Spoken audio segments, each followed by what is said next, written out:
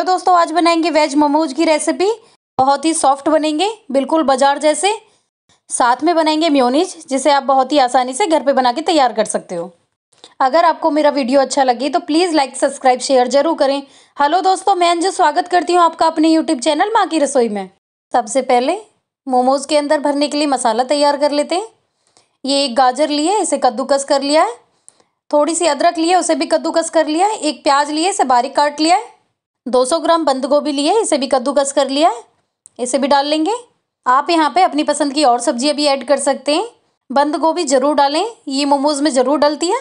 नमक डाल के इसे अच्छे से मिक्स करेंगे। इसमें दो चम्मच तेल भी ऐड करेंगे। तेल से ये एकदम सॉफ्ट बनी रहती है। इसे मिक्स करके दस मिनट के लिए इसे ढक के रख देंगे। अब मोमोज़ बनाने के लिए आटा तैयार कर लेते हैं। ये दो कप आटा लिया है, इसमें नमक डालेंगे। तेल हमें अभी नहीं डालना। थोड़ा थोड़ा पानी डालकर इसका कड़ा आटा गूँद के तैयार कर लेंगे। बिल्कुल जिस तरह पूड़ियों का मरता है, वही आटा हमें बनाना है। एकदम टाइट आटा गूँद के तैयार किया है, जिससे मोमोज़ की पूड़ियाँ जो बनाएँगे हम, एकदम सही बनेंगे। अब इसमें एक चम्मच तेल डालेंगे ऊपर से, और इसे हाथ से मलते हुए, इसे दस मिनट के लिए ढक के रख देंगे। आटा हमारा लग गया है, अब म्योनीस तैयार कर लेते हैं इतने म्योनीस के लिए मैंने एक कप दूध लिया है एक उबला हुआ आलू लिया है, उसे मैश कर लिया है। इसे भी डाल देंगे, थोड़ा नमक डालेंगे, एक चम्मच चीनी डालेंगे। अब इसमें घर की फ्रेश मलाई डालेंगे। आपके पास बाज़ार वाली हो तो आप बाज़ार वाली भी डाल सकते हो, दो चम्मच मलाई ऐड करेंगे। इसमें दो चम्मच सिरका भी ऐड करेंगे। जार का ढक्कन लगा के इन्हें बारीक पीस लेंगे। देखिए कितनी बारीक पीसी है ये, एकदम क्रीमी। बहुत ही अच्छी म्यूनी बन के तैयार होती है और बहुत ही जल्दी बन के तैयार होती है। मोमोज़ बेचने वाले भी इसी तरह म्योनीज बना के तैयार करते हैं। घर में म्योनीज खत्म हो जाता है, आप भी फटाफट इस तरह बना सकते हैं। दस मिनट हो गई है, सब्जियों को भी देख लेते हैं। देखिए कितना पानी छोड़ा है सब्जियों ने। एक साफ़ कॉटन का कपड़ा लेंगे और उसमें हम इन सब्जियों को डाल के निचोड़ लेंगे ताकि इनका सारा पानी निकल जाए। अगर हम इस तरह नमक लगा के नहीं रखेंगे सब्जियों में तो बाद में हमें मोमोज़ बनाते टाइम दिक्कत आएगी। इसलिए पहले इनका सारा पानी निकाल देते हैं। आप इस पानी को फेंकिएगा मत। आप चाहें तो इसका सूप बना के भी पी सकते हैं, या आटा लगाने में इसका यूज़ कर सकते हैं। ये बहुत ही हेल्दी पानी है। देखिए कितना पानी निकला है सब्जियों से। इसे साइड में रख देंगे। अब सब्जियों को कपड़े से बाहर निकाल लेंगे। देखिए हमने इसमें तेल लगाया था, उसकी वजह से ये सब्ज़ी हमारी एकदम बढ़िया बनी हुई है। अब इसमें कुछ और ऐड कर लेते हैं। ये दो हरी मिर्च लिए, इन्हें बारीक काट लिया, इन्हें डाल रहे हैं। थोड़ा पनीर है, इसे भी हाथ से मैश कर लिया, इसे डाल देंगे। पनीर डालना कोई ज़रूरी नहीं है। आप अपने हिसाब से डाल सकते हैं। है तो मैं डाल रही हूँ। थोड़ा सा कटा हुआ हरा धनिया इसे डाल देंगे। इन्हें अच्छे से मिक्स कर देंगे। मिक्स करने के बाद आटे को देख लेते हैं। आटा हमारा अच्छा लग गया है, बढ़िया। इसे ज़रा सा और हाथ से मुक्के मारेंगे और इसे सही से सेट करेंगे। अब इस तरह इसकी बारीक बारीक लोई तोड़ लेंगे। हमें ज़्यादा मोटी लोई नहीं तोड़नी। छोटी छोटी लोई ही तोड़ेंगे। वरना हमारी मोमोज़ की जो हम पूड़ी बनाएँगे, वो परत ज़्यादा मोटी हो जाएगी।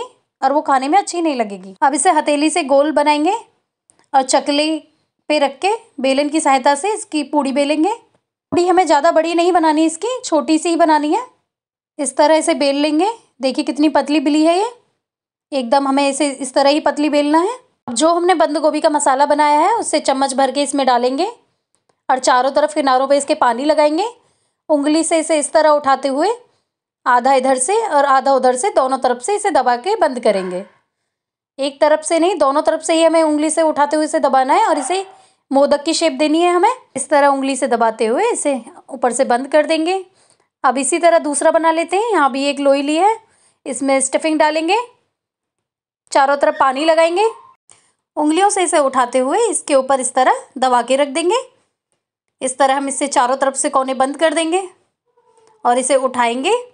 और इस तरह घुमाते हुए इसे सेप दे देंगे और इसे उंगलियों से दबाते हुए इस तरह इसे बना देंगे। मोमोज़ के बहुत डिज़ाइन होते हैं। आप कोई भी जो आपको आसान लगे आप वो बना सकते हैं। एक और डिज़ाइन बना लेते हैं। पूड़ी के चारों तरफ़ पानी लगाएँगे। इसे इस तरह उठाते हुए इसकी प्लेट्स बनाएँगे।